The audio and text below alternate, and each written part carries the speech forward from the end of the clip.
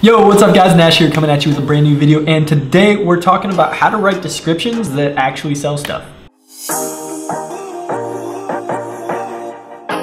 All right, so as you know, um, there are certain you know stages of the buying process that somebody goes through. So there's uh, you know somebody actually seeing the ad and getting to your to your website. That's like visitors. But if you have visitors and you don't have sales, a lot of that actually has to do with uh, you know your product descriptions. Could also have to do with prices, but uh, we've done videos about that, so I'm not going to talk about that here.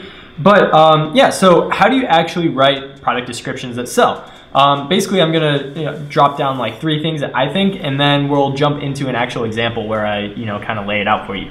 So, um, how do you write descriptions that sell? Number one, the first thing that you need to have, and if you don't have this, it's probably not going to work. Is it has to be relatable, okay? And a lot of people call this a hook, so um, I'll just put hook as well. But the uh, let's see if we can make this a little bigger so we can see it. Um, but the, the product has to be relatable and the description has to relate to the person. Now, how do you do that? You have to have a product that is uh, very niche, okay? Because if the product does not appeal to a very specific person, it makes it much more difficult to relate to the person and, you know, ultimately harder to make the sale. So, um, you know, the, the product has to be relatable and there has to be a hook, okay? Number two is that there has to be a reason to buy, okay? Um, so we can do that through two different ways. There's, well, maybe there's more, I'm not sure, but I'm going to talk about two different ways.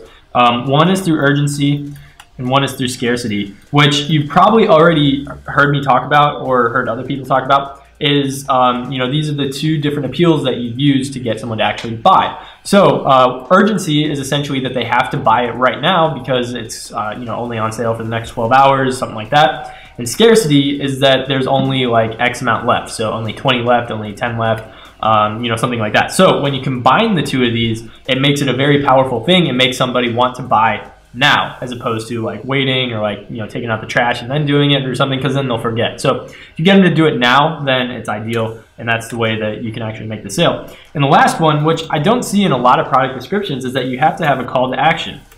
Um, a lot of people also call this a CTA.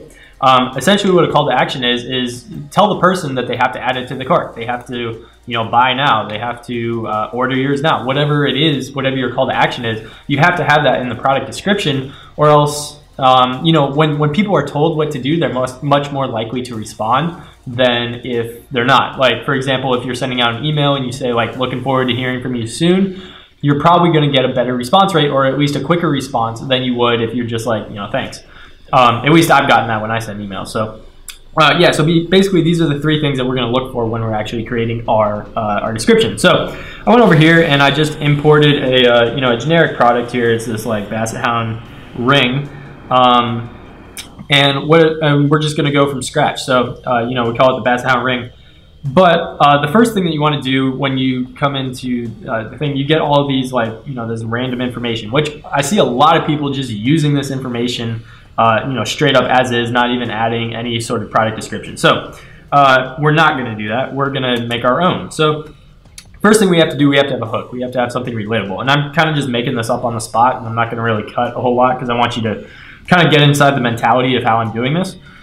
Um, but we're talking to people that like basset hounds or have a basset hound. So um, let's say something like, do you love your basset hound? Uh, Got to spell it right. Question mark. Um, say, of course you do. Um, because now we're appealing to people that actually like, uh, you know, basset hounds. And, you know, we already know the answer that they like basset hounds because we're marketing to those people. Hopefully you did the research, right? So that you know. But we're marketing these people. We already know the question, so it's just rhetorical. And we're asking and then we're reaffirming it. So, of course they love their basset hound. Um, then we can, so that's our hook. Then we can jump into um, sort of, not the call to action yet, but sort of uh, something about the product. So we can say, that's exactly why we are offering this. Uh, I usually like using adjectives like adorable, beautiful, uh, cute, stuff like that. Uh, adorable, uh, basset hound, ring And this is assuming that we're doing free plus shipping. You can do 50% off, buy one get one free, whatever you do. Uh, you know, you can uh, fill in the blank here. But um, for free, I usually like putting all caps.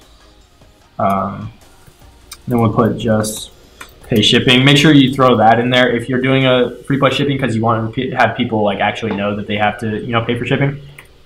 Um, and this this is where we get into the whole urgency and scarcity thing. So um, to make to build in some urgency, we'll say for the next 24 hours only. Uh, I usually like putting that in caps. Um, and then we can go into scarcity. So um, you know you can just make up a number, but there are only uh, I should say like 55 left. So get yours now before we run out. Okay.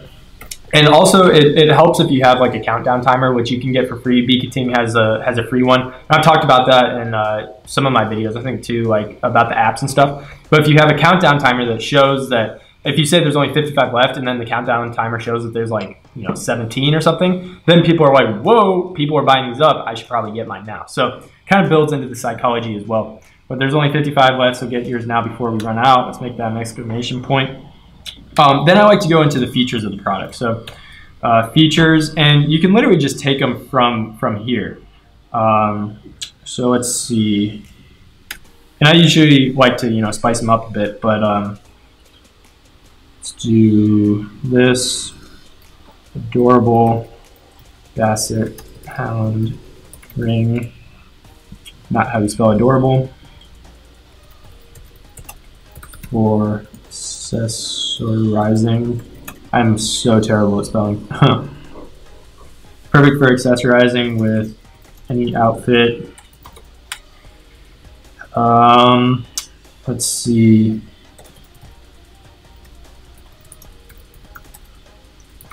High quality metal construction.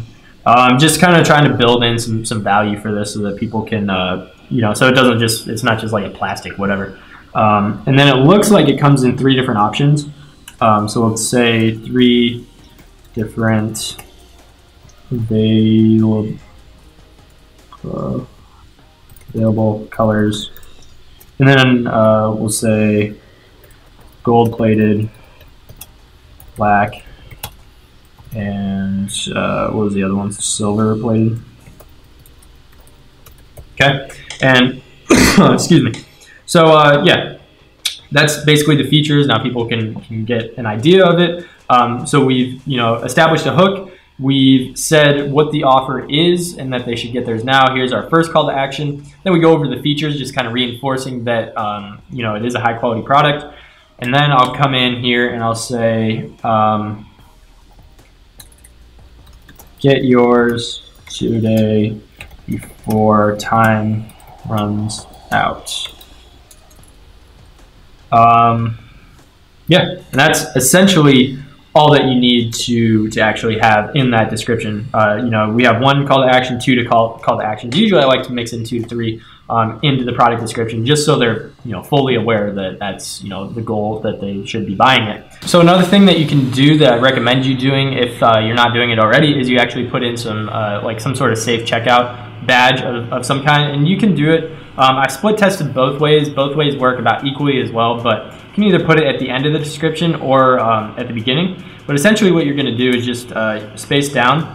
You can download uh, this safe checkout just by typing in like safe checkout badge on Google. And you'll come up with a bunch of them. I've used this one, this one. Uh, they're all you know about the same, so you can use any of them. Basically what you're gonna do is here, click on the insert image button.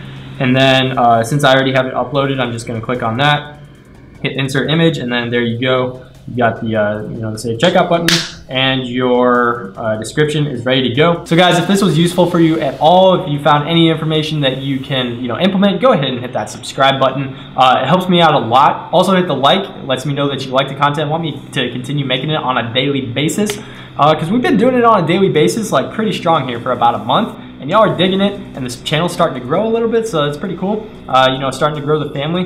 Lastly, if you have any questions or concerns or whatever, go ahead and hit me up in the comments or send me a message at Nash Hagen uh, on Instagram, and I try to get back to you guys like as fast as possible. Pretty sure I've gotten back to everyone. As far as I know, uh, if I haven't, just message me again. I'll definitely get back to you.